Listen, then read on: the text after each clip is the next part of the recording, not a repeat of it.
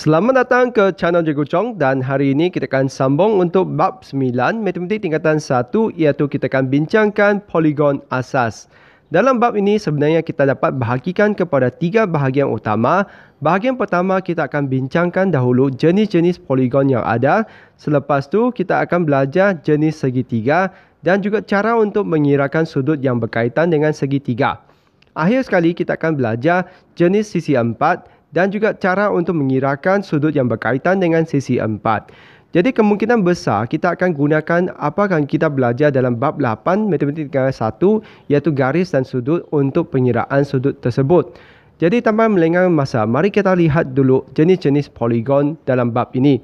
Jadi poligon tu sebenarnya adalah bentuk dua dimensi yang terhasil daripada gabungan garisan lurus. Jadi di sini Bentuk poligon yang paling asas adalah segitiga kerana kita perlukan sekurang-kurangnya tiga garis lurus untuk menutupkan satu kawasan. Jadi anda tidak akan nampak ada segi dua sebab dua garisan tu tidak dapat menutupkan suatu kawasan. Jadi poligon yang paling asas mestinya adalah segitiga kerana dia perlukan tiga garisan lurus untuk menutupkan kawasan tersebut. Jadi yang paling asas tu, yang tiga sisi adalah dipanggil sebagai segitiga. Jadi untuk yang empat tu, kenapa kita tidak panggilnya segi empat? Sebab sisi empat ni mengandungi semua jenis segi empat yang mungkin.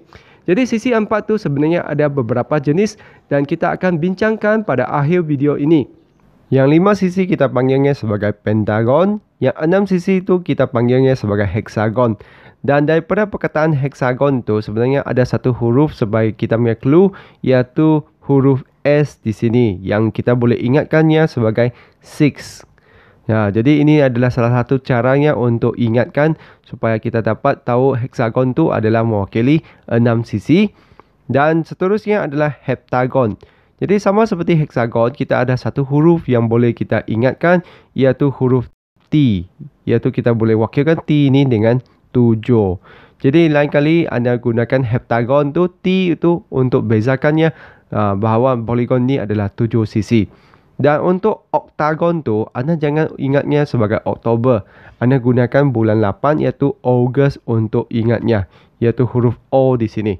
Jadi lain kali anda nampak oktagon tu ingatnya sebagai 8 iaitu Ogos.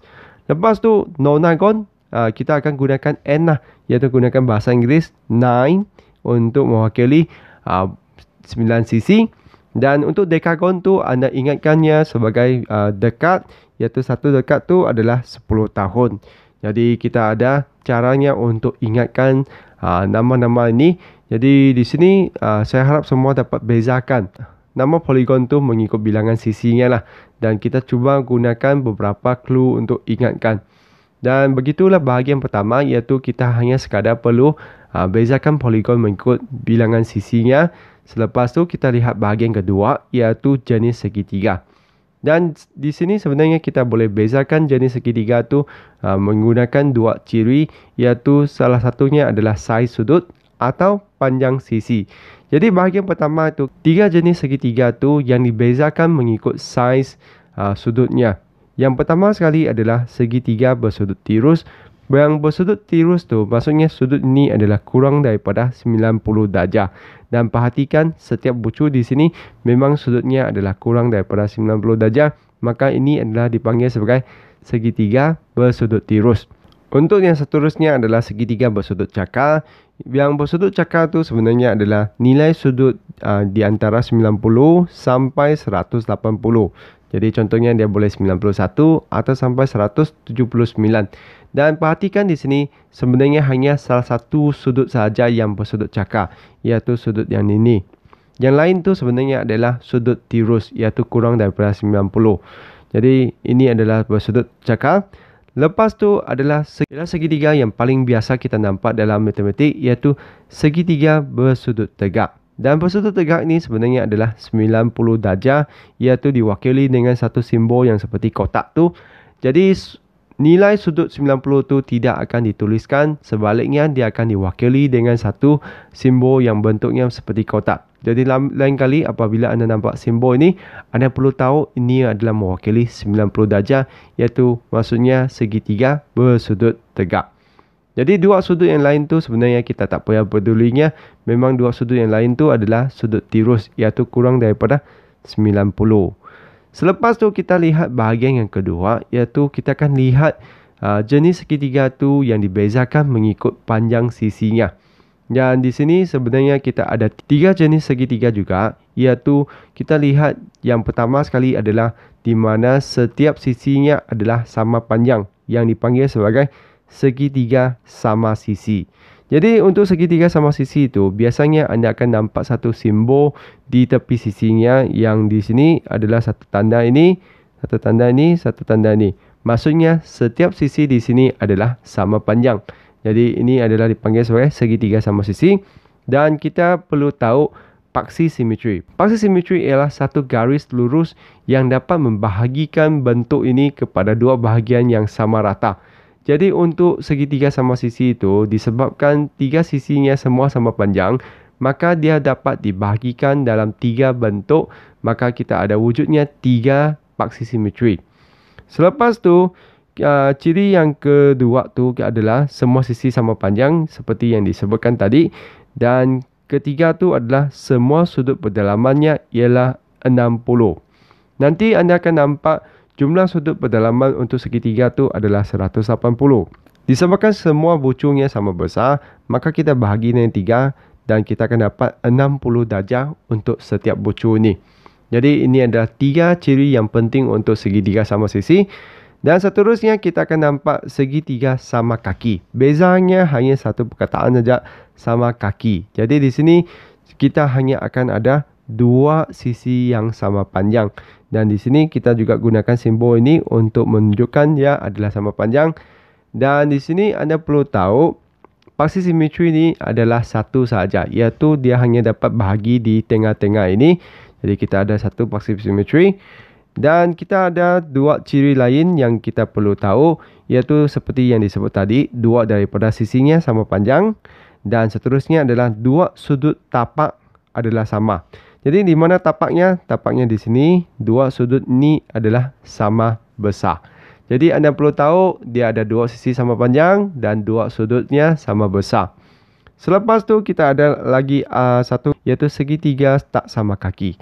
Jadi di sini maksudnya adalah kita akan ada tiga sisi yang berlainan panjangnya dan disebabkan berlainan panjang kita tiada paksi simetri iaitu kita tak boleh bahagikannya kepada dua bahagian yang sama rata dan semua sisi di sini tak sama panjang dan semua sudut pedalamannya pun tidak sama besar. Jadi begitulah jenis segitiga tu yang dapat dibezakan mengikut uh, saiz sudutnya dan juga panjang sisinya. Jadi seterusnya kita perlu belajar pula macam mana kita kirakan sudut untuk segitiga tu. Sebenarnya kita akan ada dua jenis sudut iaitu sudut yang di dalam tu dipanggil sebagai pedalaman dan sudut di luar tu dipanggil sebagai sudut peluaran. Dan di sini kalau kita perhatikan ABC itu adalah semua sudut yang di dalam dan kita akan dapat satu hasil tambah sudut pedalaman iaitu 180. Jadi anda perlu tahu kalau kita jumlahkan semua sudut tu, kita akan dapat 180 untuk segitiga. Dan di sini seterusnya kita akan dapat 180 lagi.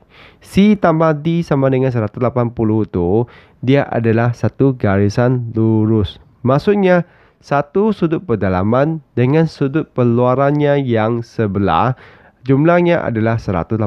Kenapa dia adalah satu garisan lurus. Dan selain daripada dua ciri sudut tu, kita akan ada satu yang unik sikit iaitu kalau kita nak carikan D itu, sebenarnya D ini adalah hasil tambah dua sudut yang bukan bersebelahan dengannya, iaitu D sama dengan A tambah B. Ini adalah khas untuk segitiga sahaja. Jadi anda perlu uh, ingatkan ciri-ciri inilah. Jadi mari kita lihat contoh soalan yang saya ambil daripada buku teks. Biasanya dia akan wakilkan satu sudut tu sebagai dengan huruf. Contohnya adalah X. Jadi di sini cari nilai X bagi setiap raja yang berikut. Jadi kita perlu guna balik ciri yang kita bincangkan tadi. Kita perlu perhatikan dulu kedudukan X dan juga sudut-sudut yang diberi itu. Jadi perhatikan A itu adalah semua sudut ini adalah di dalam. Maka kita akan gunakan konsep yang pertama tu iaitu X tambah dengan sudut lain tu sama dengan 180. Selepas tu kita tambahkan dua sudut ni dulu. X tambah dengan uh, di sini adalah dapat 129 sama dengan 180 dan lepas tu kita pindahkan untuk tolak. Anda juga boleh pindah tolak terus terpulang kepada anda. Saya lebih suka untuk tambah dulu lepas tu baru kita pindahkan untuk tolak. Jadi hasil tolak di sini kita akan dapat ni adalah 51 darjah. Jadi begitulah untuk soalan A. Okay, untuk soalan B pula, kita perhatikan kita punya kedudukan untuk X2. X2 adalah di luar. Maka kita tak boleh gunakan X2 sama dengan 180. Jadi tak boleh. Sebab kenapa? X2 bukan di dalam. Ini yang ini kita perlu gunakan konsep nombor 3 itu iaitu D itu sama dengan A tambah B. Jadi di sini adalah unik sikit. Anda perlu tahu X ni adalah sama dengan 79 tambah dengan 28 iaitu kita dapat ni adalah 107. Ini adalah cara yang paling singkat. Ada juga cara lain iaitu anda boleh carikan sudut yang di sebelah ini dulu. Lepas tu anda baru tolakkan 180 dengan sudut sebelah ini.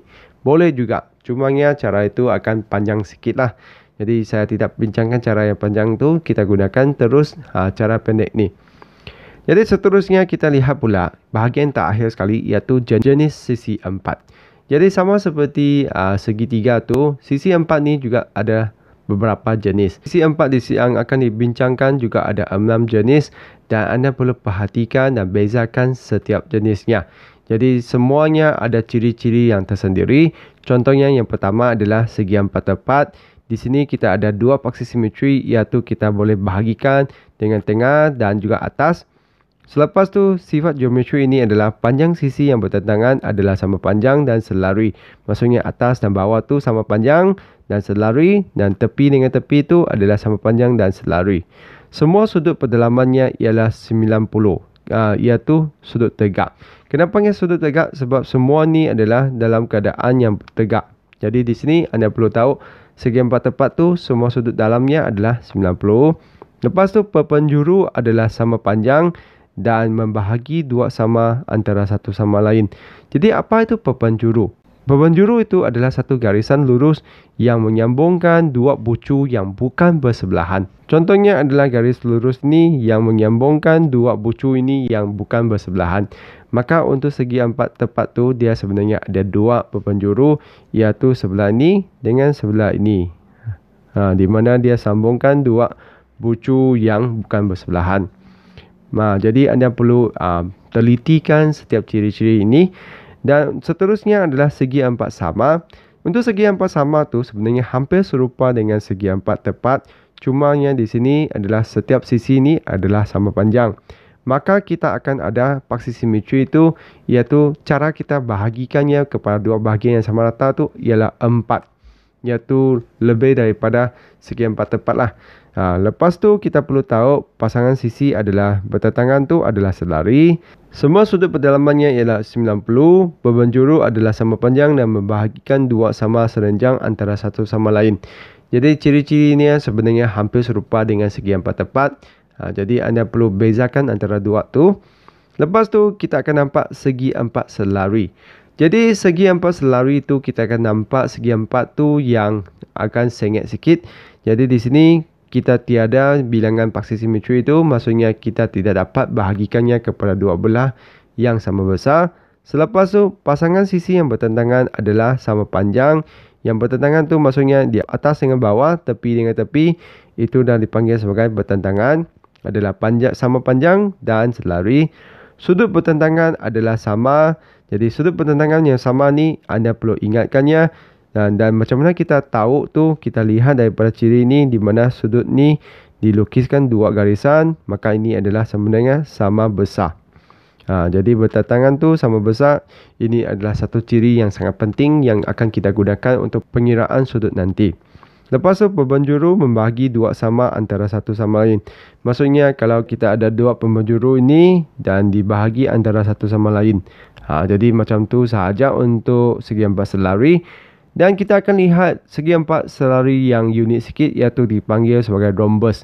Beza rhombus dengan segi empat selari adalah untuk rhombus tu setiap sisinya adalah sama panjang. Ha, jadi anda akan nampak simbol ini.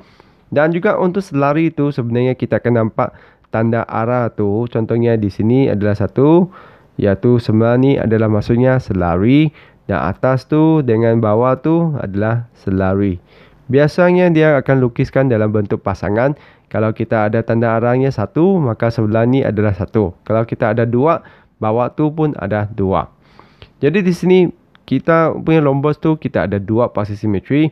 Maksudnya kita ada dua cara untuk bahagikannya kepada dua bahagian yang sama rata. Selepas tu kita nampak ciri-ciri yang lain tu sebenarnya hampir serupa dengan ciri untuk segi empat selari. Dan seterusnya kita lihat pula trapezium. Jadi trapezium ini adalah satu bentuk yang sangat popular untuk matematik dan anda perlu bezakan trapezium dengan bentuk lain. Untuk trapezium, dia hanya ada satu pasangan uh, garis yang selari iaitu di atas dengan bawah ni. Uh, jadi di sini kita tak dapat bahagikannya kepada dua bahagian yang sama rata sebab kita tak nampak cara untuk bahagikannya kepada dua bahagian yang sama rata. Jadi itu untuk trapezium. Selepas tu kita ada lelayan. Ya, layan-layan lah. Maksudnya di sini kita ada satu paksi simetri. Lepas tu kita ada satu sudut yang bertentangan tu yang sama besar. Jadi di sini anda perlu tahu ciri-cirinya dan perlu telitikan semua tu. Selepas tu sama seperti segitiga tu kita perlu gunakan ciri-cirinya untuk mengirakan nilai sudut. Iaitu kita ada dua ciri ini yang penting. Satunya adalah semua sudut pedalaman tu hasil tambahnya adalah 360. Tadi untuk segitiga tu adalah 180. Untuk segi empat tu adalah 360. Selepas tu kalau kita ada satu pasangan sudut pedalaman dengan peluarannya yang bersebelahan, kita akan wujud satu garisan lurus, maka kita akan dapat 180 darjah. Dan untuk segi empat selari itu dia unik sikit. Anda perlu tahu sudut yang bertentangan tu adalah sama besar. Maka kita akan gunakan dua ciri ini untuk mengirakan nilai sudut. Jadi mari kita lihat contoh yang saya ambil daripada buku teks. Dalam setiap raja yang berikut, PST ialah garis lurus. Hitung nilai X dan Y. Jadi kita lihat X tu adalah pada satu garisan lurus di mana ada satu sudut pengeluarannya adalah 100 maka kita hanya sekadar X tu tambah 100 sama dengan 180 maka kita hanya pindahkan 100 ke sebelah. Tolakannya kita akan dapat ni adalah 80 ha, kita gunakan konsep garis lurus. Lepas tu kita sudah ada 3 daripada 4 sudut tu maka kita boleh gunakan jumlah sudut berdalaman sama dengan 360 Maka Y itu kita tambahkan semua dengan lain dan kita akan samakan dengan 360 ditambahkan dulu yang lain tu jadi 132 277 lepas tu kita pindahkan ke sebelah untuk tolak 360 dan kita akan dapat bakinya iaitu sama dengan Y itu sama dengan 83. Jadi begitulah untuk Y. Jadi senang saja. Untuk X tu gunakan konsep garis lurus. Untuk Y tu gunakan hasil tambah sudut pedalaman. Jadi selepas tu kita lihat pula B. B ini adalah satu segi empat selari. Macam mana kita tahu? Kita lihat kepada tanda ini. Inilah maksudnya adalah selari. Ha, jadi kita ada dua pasangan sisi selari. Jadi ini adalah segi empat selari dan ingat dia ada satu ciri sudut yang sangat penting iaitu sudut pertentangan tu adalah sama besar. Maka kita boleh dapatkan nilai X terus iaitu X tu sama dengan 42. Selepas kita ada X tu kita akan gunakan konsep garis lurus iaitu Y tambah dengan X iaitu 42 sama dengan 180. Jadi kita hanya sekadar pindahkan 42 ke sebelah dan kita akan dapat ni Y sama dengan 138 darjah. Jadi begitu mudah saja untuk carikan nilai sudut tu. Dan selepas tu akhir sekali kita akan lihat uh, penyelesaian masalah melibatkan sisi empat. Jadi untuk bahagian ni uh, penyelesaian masalah tu biasanya anda perlu ingat balik semua ciri-ciri sudut tu dan kena aplikasikannya. Dan biasanya dia juga akan melibatkan apa yang anda belajar dalam bab 8 iaitu contohnya adalah sudut uh, pada garis lari itu iaitu sudut sepadan, sudut selang-seli, sudut pedalaman. Jadi kita lihat contoh soalan di sini. Dalam, dalam raja di atas, PQRU ialah sebuah segi empat sama dan QRSV ialah sebuah segi empat selari. PVR ialah garis lurus, cari nilai X dan Y. Jadi untuk penyelesaian masalah tu sebenarnya kita ada banyak cara untuk selesaikan soalan ni tetapi kita cuba untuk carikan cara yang paling ringkas. Jadi di sini kita perlu gunakan ciri-ciri yang kita belajar tadi untuk selesaikan uh, soalan ni iaitu kita perlu perhatikan. Jadi di sini kita ada dua bentuk segi empat selari dengan segi empat sama. Dan apabila segi empat sama itu dilukiskan satu paksi simetri itu Sebenarnya anda perlu tahu dari asal ni adalah sudut 90 darjah dan disebabkan dibahagi dua, maka kita dapat ni 45 45. Dan di sini anda perlu guna balik apa yang anda belajar dalam bab 8 tu iaitu untuk sudut yang wujud dalam garisan selari iaitu sebenarnya dua garisan ni adalah selari kerana segi empat selari dan di sini kita ada wujudnya sudut berselang-seli. Maka kita ambil X tu sebenarnya adalah 45 darjah sahaja. Okay, selepas kita sudah tahu ni adalah 45 darjah, kita akan gunakan lagi satu sudut yang kita belajar dalam bab 8 iaitu sudut pedalaman. Jadi untuk sudut pedalaman tu kita perlu lukiskan seperti ini. Iaitu kita akan gunakan nilai 72 tu. Dua sudut ni adalah dipanggil sebagai sudut pedalaman iaitu jumlah sudut dua ni adalah sama dengan 180. Jadi sudut yang kita cari itu kita carikan dulu keseluruhan iaitu sudut QVS sama dengan 180 tolak 72 iaitu kita dapat ni 108. Selepas kita sudah ada 108, apa yang kita nak cari itu sebenarnya adalah nilai yang sebelah Y ni. Disebabkan keseluruhannya 108, sudut sebelah Y itu iaitu sudut QVR sama dengan 108 tolak dengan 45 iaitu nilai X kita. Kita dapat ni adalah 63. Dan selepas kita sudah ada 63, kita boleh carikan Y iaitu gunakan garisan lurus 180 tolak 63 iaitu kita dapat ni adalah 100 17. Jadi anda perlu gunakan balik apa yang anda belajar semasa bab 8 itu iaitu jenis sudut yang wujud pada garis lari.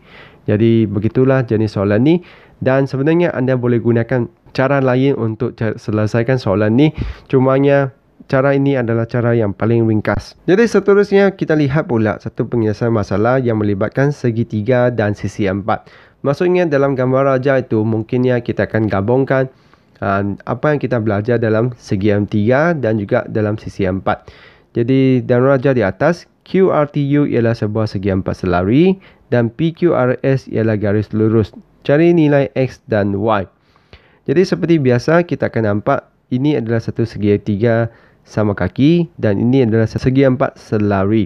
Jadi pertama sekali kita semak dulu gambar raja kita untuk carikan maklumat manakah maklumat yang kita boleh gunakan. Jadi kita ada satu satu dua ni, anda akan gunakan konsep yang anda belajar dalam bab 8 iaitu sudut berselang-seli iaitu satu satu dua ni boleh dipindahkan ke atas ni. Selepas tu kita akan gunakan apa yang kita belajar dalam ciri-ciri sudut dalam segi empat selari iaitu sudut yang bertentangan tu adalah sama. Dan selepas tu kita sebenarnya boleh carikan nilai X sudah sebab dalam segitiga ini kita sudah ada dua nilai sudut. Maka X kita tu tambah dengan 112 tambah dengan 36 sama dengan 180 darjah. Jadi kita tambahkan ini dua dulu. Kita dapat ni adalah 148 sama dengan 180. Jadi tolakkan kita dapat ni adalah sama dengan 32. Jadi selepas kita sudah ada 32, kita cari pula macam mana untuk carikan Y. Nak carikan Y itu sebenarnya kita akan gunakan garisan lurus untuk carikan sudut di sebelah 112 ni. Jadi sudut ni adalah sudut TRS atau SRT sama dengan 180 tolak dengan 112 kita dapat ni adalah 68 Dan disebabkan ni adalah segitiga sama kaki, ini 68, ini pun adalah 68. Maka kita punya Y itu tambah dengan 68, tambah 68 sama dengan 180. Iaitu jumlah nilai sudut untuk segitiga. Lepas tu kita tambahkan dua tu, kita dapat 136 sama dengan 180. Y sama dengan 180 tolak 136. Y kita sama dengan 44. Jadi sebenarnya agak senang saja untuk soalan ni. Cumanya agak banyak ciri yang perlu anda ingatkan dan anda perlu aplikasi dalam keadaan yang diberi itu. Jadi apabila anda lihat gambar raja tu, anda perlu lihat dulu maklumat yang diberi itu adakah maklumat tu atau nilai sudut tu boleh dipindahkan ke tempat yang kita perlukan. Dan kita akan gunakan ciri-ciri yang kita sudah belajar tu untuk pindahkan nilai sudut tersebut. Dan setiap pindaan tu mesti mengikut konsep yang kita belajar, bukannya suka hati saja. Jadi begitu saja untuk bab 9 ini. Jadi bab 9 ni keutamaannya sebenarnya adalah untuk mencarikan nilai sudut sama ada dalam segitiga atau dalam sisi empat. Dan untuk mencari nilai sudut tu anda terpaksa kena telitikan ciri-ciri sudut dalam setiap poligon tu. Jadi di sini saya imbas kembali apa yang anda perlu fokus untuk bab ini iaitu pertama sekali anda perlu tahu nama poligon setiap satu berdasarkan kepada bilangan sisinya. Kedua tu adalah kita perlu tahu ciri-ciri untuk setiap jenis segitiga. Lepas tu adalah macam mana kita gunakan ciri-ciri itu untuk mengirakan nilai sudut. Lepas tu kita ada akhir sekali adalah uh, jenis sisi empat dan ciri-cirinya dan untuk mengirakan nilai sudut juga. Jadi begitu saja untuk video kali ini. Saya harap video ini dapat membantu anda untuk memahami bab 9 matematik tingkatan 1 ini. Kalau rasa video Cikgu Chong ini membantu, jangan lupa untuk tekan like dan subscribe channel Cikgu Chong untuk video yang seterusnya. Jadi itu saja untuk kali ini. Sekian terima kasih dan kita jumpa lagi.